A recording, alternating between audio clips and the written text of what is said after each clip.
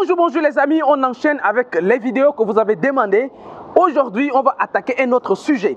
Parce que dans ce sujet, il y a beaucoup de personnes qui m'ont demandé, Justin, quels sont les business que les salariés peuvent faire tout en gardant leur salaire?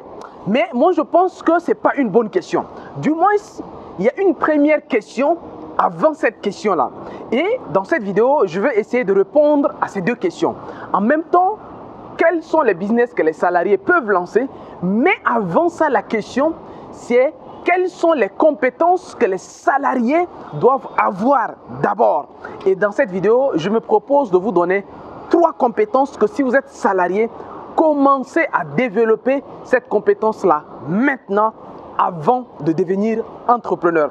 Les amis, si vous venez d'arriver ici, vous êtes la bienvenue. Ici, c'est sur Vivre et réussir en Afrique. On parle de business, de plusieurs domaines. On est sur l'immobilier, la santé. On fait vraiment pas mal, pas mal de business et on donne beaucoup de conseils. On a des équipes de formation, ainsi de suite. Donc vraiment, les amis, vous êtes au bon endroit pour prendre des idées, des stratégies, des retours d'expérience et tout ce qu'on partage ici, nos échecs, ainsi de suite, pour vous permettre, vous également, d'avoir une idée et de voir un peu ce que ce que nous on apporte ici, ça va vraiment vous aider. Voilà pourquoi nous avons également mis sur pied un programme qu'on appelle Lève-toi et vends. Alors, ces constats, je l'ai fait lors de ma dernière tournée africaine où je me suis rendu compte que dans tous les pays où je suis passé, la plupart des entrepreneurs rencontrent des problèmes de vente. Voilà pourquoi ce programme Lève-toi et vends va te permettre de rejoindre. Alors, le processus de sélection est déjà en cours. Il y a beaucoup, on a déjà plus de centaines de personnes qui ont déjà rempli les fiches.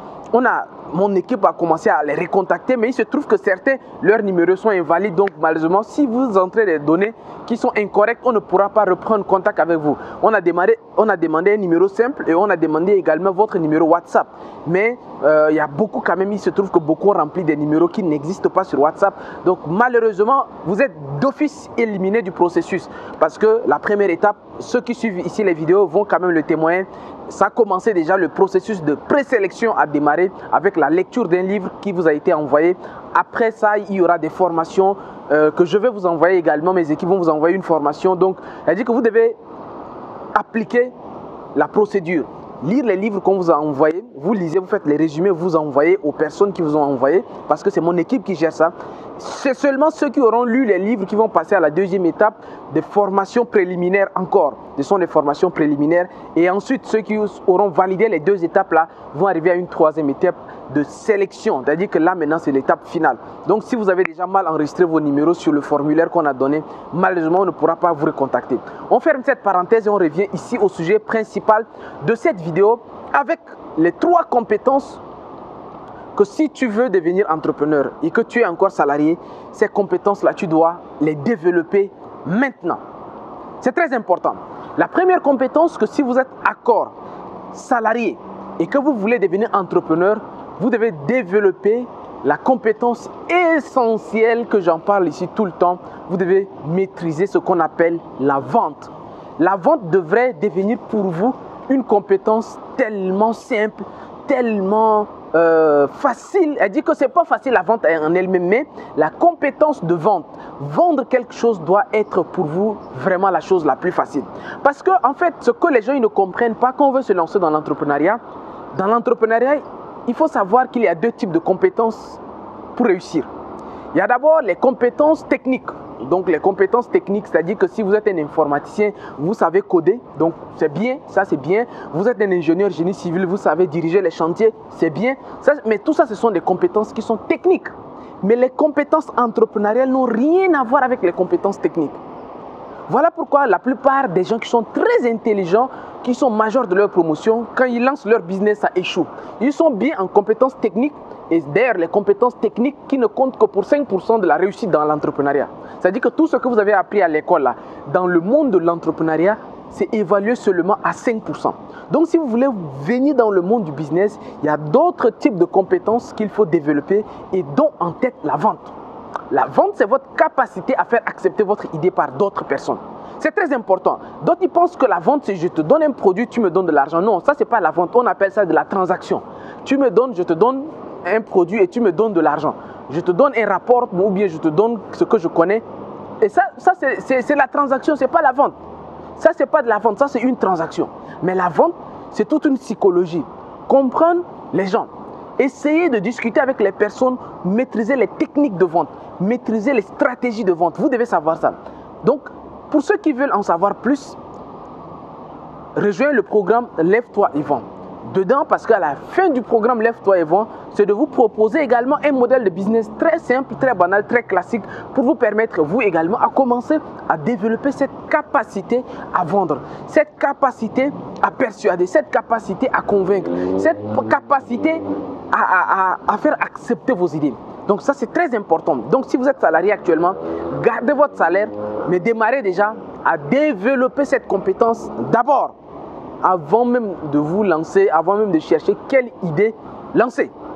Deuxième compétence, que si actuellement vous êtes encore salarié et que vous voulez devenir entrepreneur, la deuxième compétence que vous devez développer, c'est le leadership. Le leadership, c'est votre capacité encore. Vous voyez que tout ce que je suis en train de dire, ça relève de votre capacité. Donc c'est votre capacité à prendre une équipe d'un point A et à les amener à un point B apprendre une institution, apprendre un business, apprendre des humains. Parce que c'est ça le leadership. C'est-à-dire que tu es à la tête des humains et tu dois les amener quelque part. Et ça, c'est très important. Le leadership est partout.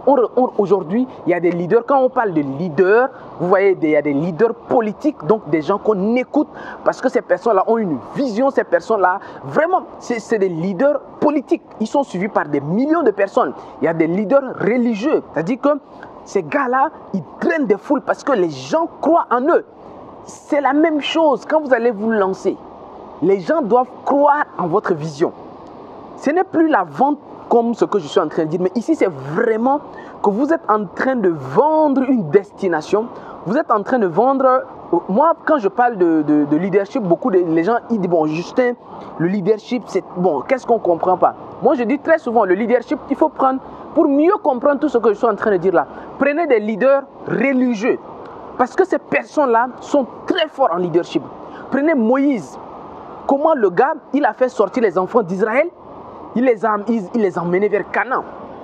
La version de l'histoire de Moïse que j'ai lue, ce ne sont pas des versions, c'est une des versions d'ailleurs que je veux mettre les références. Je n'ai pas lu cette version dans le Coran, donc euh, Moussa ou bien Moïse dans la Bible. Non, c'est une autre version où on parle vraiment du leadership de Moïse. Comment imaginer, avec tous les enfants d'Israël, Moïse était la personne qui était devant. C'était toi que tout le monde, les gars, ils t'écoutent seulement. Là où tu dis on va, les gens, ils te suivent. C'est-à-dire que c'est toi qui as la vision, c'est toi qui sais là où on est en train de partir. Nous, on ne sait pas. C'est ça maintenant, vous allez voir dans le domaine du business. Quand vous êtes salarié, en fait, c'est votre patron qui est devant, celui qui a la vision, celui qui a, voilà, celui qui est le maître aux commandes, c'est lui qui est en train de vous amener quelque part. Mais quand tu deviens toi entrepreneur, c'est toi maintenant qui amène les gens quelque part. Mais là où tu es en train de les amener, là, c'est où? Comment être sûr que ces personnes-là t'écoutent? Comment être sûr qu'il n'y aura pas de trahison? Comment être sûr qu'il n'y aura pas vraiment... Voyez, tout ça, c'est des compétences, ça ne vient pas naturellement.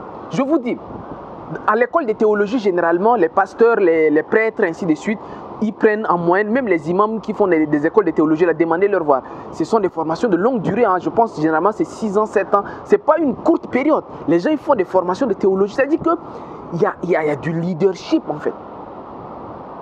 Moi je prends également, il y a, beaucoup d'exemples de leadership dans, quand vous prenez même dans, dans la politique et même en business.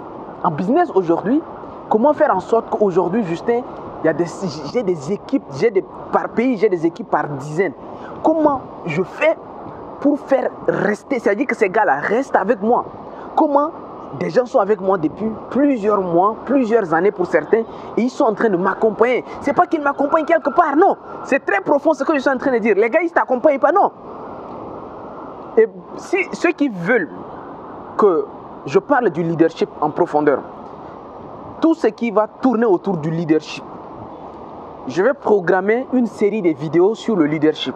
Ceux qui veulent devenir des leaders, ceux qui veulent avoir des visions, partager la vision aux autres, se faire accompagner, construire des équipes, faire grandir les équipes, les amener à un certain niveau donné. Ceux qui veulent que j'entre dans des sujets comme ça, dites-moi tout simplement en commentaire, Justin, je veux que tu abordes le sujet du leadership en profondeur. Comme ça, je pourrais voir s'il faut faire des séries de vidéos sur le leadership. Ça, c'est très important. Dites-moi tout ça en commentaire. Troisième compétence qui, à mon avis, est également essentielle si vous voulez un jour, actuellement vous êtes salarié, si vous voulez un jour devenir votre propre patron ou bien créer votre entreprise, vous devez développer ce qu'on appelle l'intelligence financière. Je vous assure, l'intelligence financière, quand vous êtes salarié et que vous avez un salaire, la manière de gérer l'argent, comme tu es un salarié, tu as un salaire, donc euh, c'est ton argent, donc on va appeler ça de la finance personnelle. Donc c'est la finance personnelle. Mais quand tu vas maintenant gérer une entreprise, quand tu vas gérer un business, ce n'est plus la finance personnelle. Là, on parle maintenant de finance d'entreprise. Moi, j'avais lu beaucoup de livres de finance d'entreprise quand j'étais encore salarié. Elle dit que je lisais tellement voir parce que à l'époque, il y a Robert Kiyosaki qui parlait beaucoup de des habiletés qu'il faut développer, apprendre à, lire des bilans financiers. Donc j'achetais beaucoup de livres sur la finance pour mieux comprendre le fonctionnement des banques, pour mieux comprendre le fonctionnement des, taux d'intérêt, les crédits. Dit que il fallait que je me forme beaucoup pour comprendre la finance d'entreprise. Parce que ça, c'est important. Si vous ne comprenez pas tout ça, et que vous venez, parce que peu importe l'idée qu'on va te donner, hein, je vous assure qu'il n'y a pas de nouvelles idées. Je vais vous donner dans une prochaine vidéo, bien sûr. Je vais enregistrer une prochaine vidéo, vous donner quelques nouvelles idées, mais je vous assure, ce sont pas, ces idées ne sont pas aussi nouvelles que ça. Non, pas du tout. Mais c'est vos habiletés, vos aptitudes maintenant à piloter ces idées-là. Beaucoup, même si je donne ces idées-là ici, vont démarrer, mais vont pas aller, ne, feront pas long feu avec les idées que je vais donner. Mais ceux qui auront ces capacités, ceux qui auront ces aptitudes et ces habiletés-là, quand ils vont démarrer, ah oui, vous allez voir qu'il n'y aura pas match. Parce qu'ils ont déjà développé ça. Peu importe le business, peu importe l'idée du business qu'ils vont prendre, ça va aller très très vite. Les amis, merci beaucoup d'avoir regardé cette vidéo jusqu'à ce niveau. Quant à moi, je vous dis à très très bientôt. Je vous attends dans les commentaires pour de nouveaux alors de, nouvelles suggestions ou bien de nouvelles idées de vidéos que vous voulez que je traite. Je vous attends dans les commentaires, sachant que la vidéo qui va suivre, je vais maintenant entrer dans le détail, vous donner trois ou quatre idées de business qu'un salarié peut lancer en même temps garder son salaire. Portez-vous bien, au revoir et à très bientôt. Ciao, ciao.